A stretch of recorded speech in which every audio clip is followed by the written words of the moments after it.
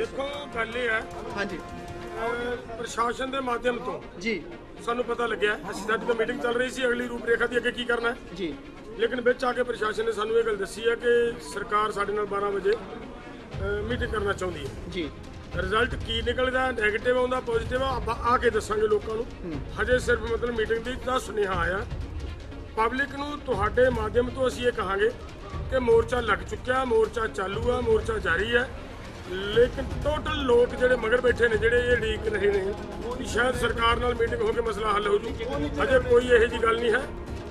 ਲੋਕ ਵਾਪ ਇੱਥੇ ਮੋਰਚੇ 'ਚ ਤਕੜੇ ਹੋ ਕੇ ਬਹਾਦਰੀ ਭਰਨ ਮੋਰਚੇ ਤੇ ਪਹੁੰਚਣ ਮੋਰਚੇ ਨੂੰ ਤਕੜਾ ਕਰਨ ਔਰ ਸਰਕਾਰ ਨਾਲ ਮੀਟਿੰਗ ਦੇ ਵਿੱਚ ਜੋ ਫੈਸਲਾ ਆਏਗਾ ਉਹ ਲੋਕਾਂ ਕਿਹੜੀਆਂ ਮੰਗਾਂ ਦੇ ਉੱਤੇ ਗੱਲਬਾਤ ਹੋਏਗੀ ਅੱਜ?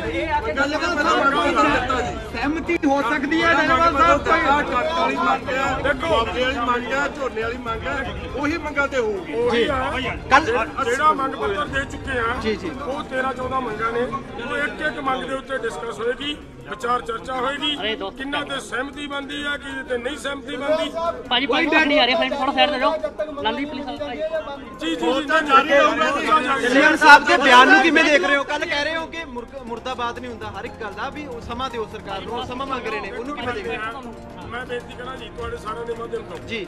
ਮੁੱਖ ਮੰਤਰੀ ਜੀ ਨੂੰ ਮਹਿਸੂਸ ਕਰਨਾ ਚਾਹੀਦਾ ਹੈ। ਜਿਹੜੀ ਕੁਰਸੀ ਤੇ ਭਗਵੰਤ ਮਾਨ ਜੀ ਬੈਠ ਗਏ ਇਸ ਕੁਰਸੀ ਦੀ ਪ੍ਰਸ਼ੰਸਾ ਵੀ ਹੋਏਗੀ ਤੇ ਇਸ ਕੁਰਸੀ ਦੀ ਆਲੋਚਨਾ ਵੀ ਹੋਏਗੀ। ਅਗਰ ਲੋਕਾਂ ਦੇ ਨਾਲ ਜਿਸ ਤਰੀਕੇ ਦੇ ਨਾਲ ਕੱਲ ਵਿਵਹਾਰ ਹੋਇਆ ਹੈ ਤਾਂ ਮੁਰਦਾਬਾਦ ਸੁਭਾਵਿਕ ਹੈ ਲੋਕਾਂ ਨੂੰ ਗੁੱਸਾ ਆਉਣਾ ਸੁਭਾਵਿਕ ਹੈ। ਇਹਦਾ ਭਗਵੰਤ ਮਾਨ ਨੂੰ ਵੱਡਾ ਦਿਲ ਕਰਨਾ ਚਾਹੀਦਾ ਵੀ ਯਾਰ ਮੈਨੂੰ ਲੋਕਾਂ ਨੇ ਇੰਡੀਆ ਵੱਡੀਆਂ ਵੋਟਾਂ ਦੇ ਕੇ ਮਾਨ ਸਨਮਾਨ ਦਿੱਤਾ ਹੈ। ਤੇ ਇੱਕ ਨਿੱਕੀ ਜੀ ਗੱਲ ਪਿੱਛੇ ਲੋਕਾਂ ਦੇ ਪਿੱਛੇ ਇਹ ਰੋਸ ਕਰਨਾ ਵੀ ਮੈਨੂੰ ਮੁਰਦਾਬਾਦ ਕਹਿਤਾ।